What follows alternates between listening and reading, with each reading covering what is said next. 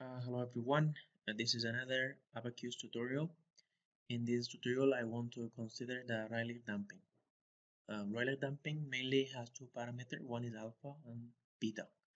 So alpha is uh, called stiffness proportional, which is dependent to structure stiffness, and beta is mass proportional, which is depends the mass, mass of the structure. When both together combine and it create a Rayleigh damping here. How we can calculate this alpha beta? It is a very simple uh, algebraic equation. First, you will conduct a model analysis and take the frequency or like 1, 2. So 1, 2, at least 2 mode. 2 mode of that structure, first mode, second mode. Then you will create, in the first mode, you want to consider 5% damping.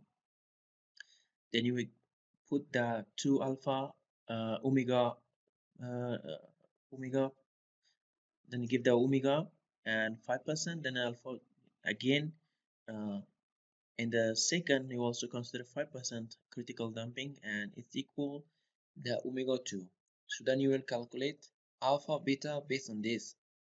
So that you suppose the structure have 5% damping and you will do a model analysis. So then you give omega and omega 2 omega 1 omega 2 and then you will calculate alpha and beta. So now here in my example uh, just I want to give this uh, data to the this structure to this material the structure material and see how this responds.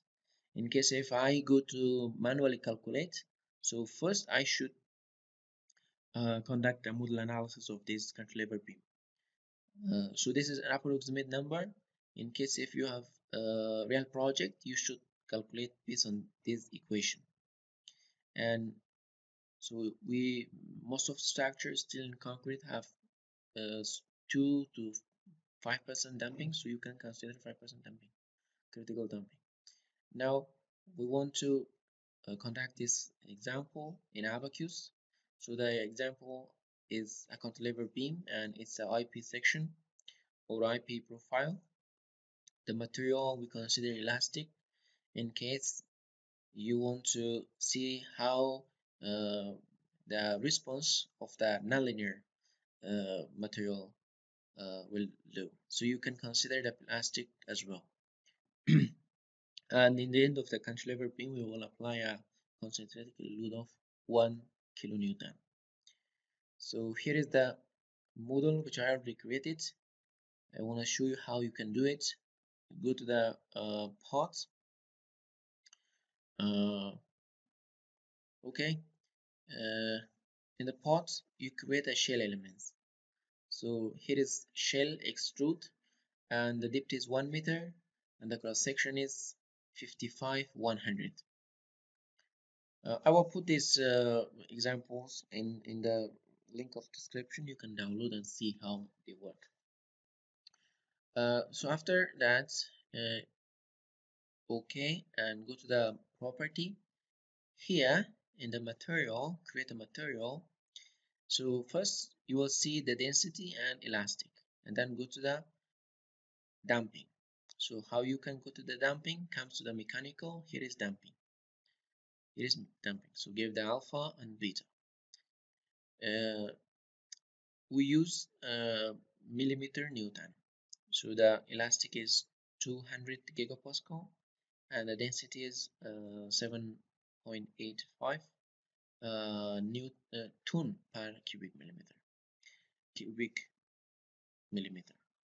Now we create two section. One is for flange 5.7 and one is for web 4.1 millimeter and we assigned them to the web and also flanges.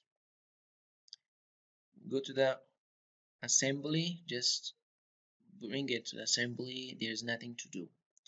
And you also can create a reference point in the middle of this point here. And then go to in here create a set. Call create a set. Take this point and it's called create a set which is that loading point. Now we go to step. In the loading uh, part there is two scenario. One is uh, this location is fixed. It's a cantilever you put a load in the static manner. So but but uh, after you put the load and the load is uh, dropped down or uh, you pick the load again uh, after you picked so there will be some deformation. So the deformation we want to measure under the dynamic behavior. So we need to one static one dynamic behavior.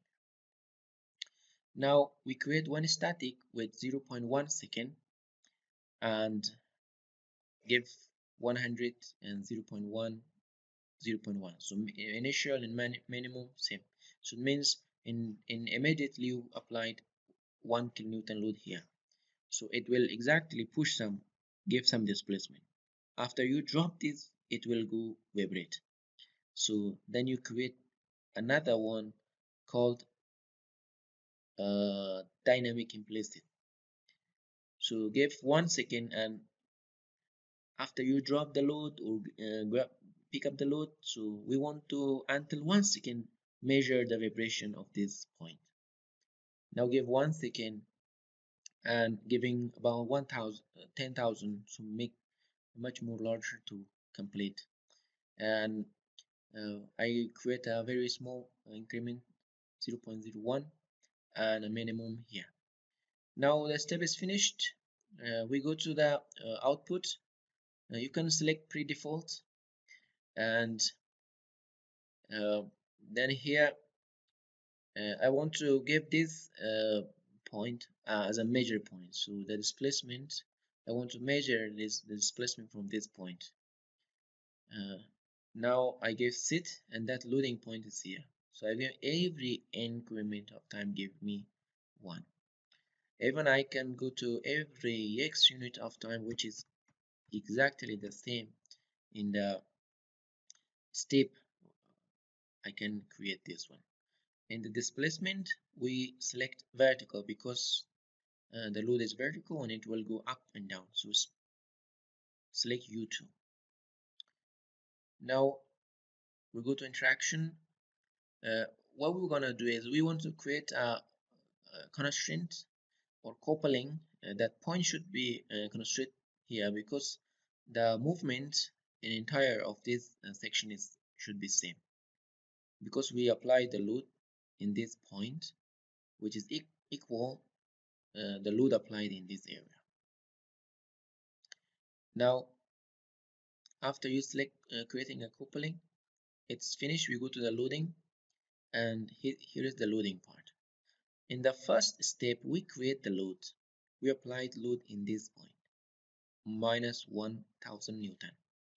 And the second part we, it means we deactivated so there is no load in this area but instead we have a step which will measure the displacement of that point. You should create deactivate. And we create a boundary condition.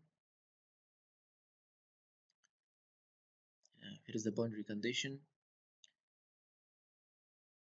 Here and this is called in encastre so one boundary condition also we need to give some time uh, uh, uh, we have some actually some lateral displacement control as well. Because we, we just want to consider the this one even don't need but in practical usually we have some sort of lateral connection because uh, this sort of uh, cantilever beam will do uh, a, a torsional buckling so we want to prevent in case we also want to to remove and see how it works. Um, otherwise it will go a little um, unstable.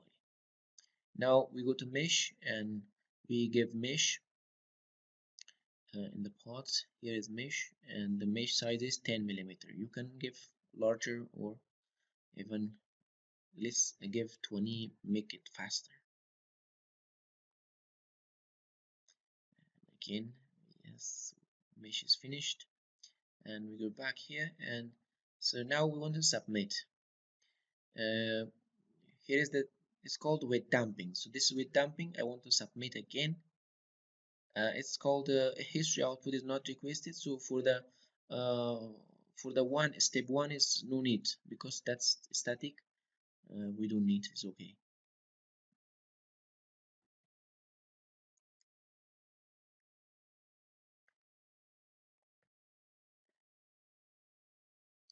now it's running and I go to monitor it.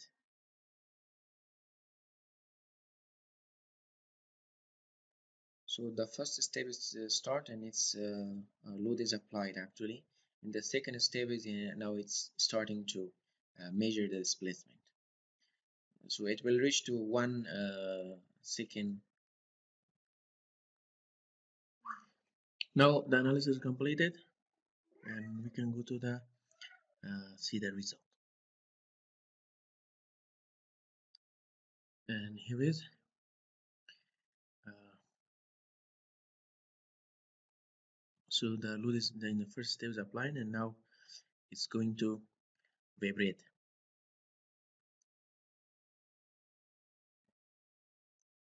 Uh, okay now we want to control uh, see uh, the vibration. This was the previous one. I'm going to create a new one and the loading point save as it is. Uh, here is.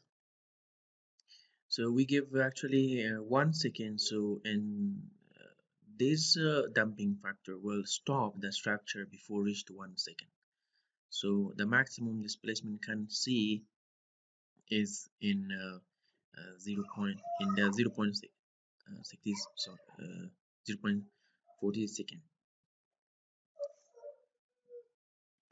uh, now uh, we can uh, rename it called damping so it's considered have damping and the next is uh, just uh, we go back to here in the model and take a copy of the model and we call it model 2 or even you can give the name uh, with damping and hand damping.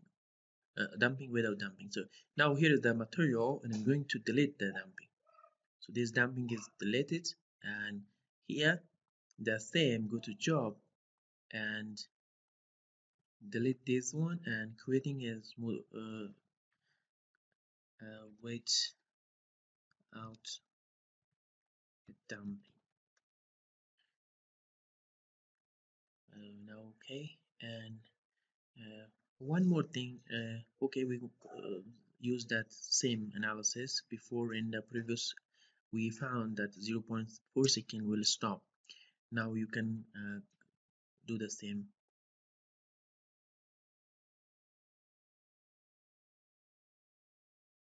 Monitor and uh, here is no not any uh, warning uh, any, error so it's okay then. Just wait a while to finish the first step is finished and the second uh, step the second step is also begin. Now the second model is also completed. Uh, we can go to result. And this time we can just see as a the first uh, step is applying the load. Now it will vibrate. So the vibration is like this. It will continue continue and uh, it will not stop. But in the in the virtual we have this. But in practical most of the structure and material has an uh, we call inherent damping. So that's because if you have a roller you can take one side from your hand and then release. After a few moments it will stop.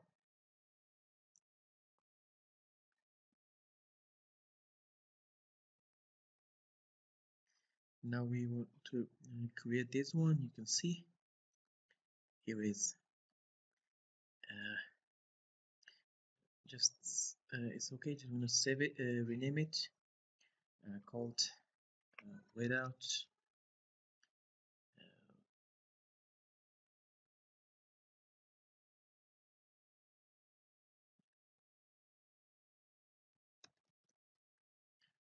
Without damping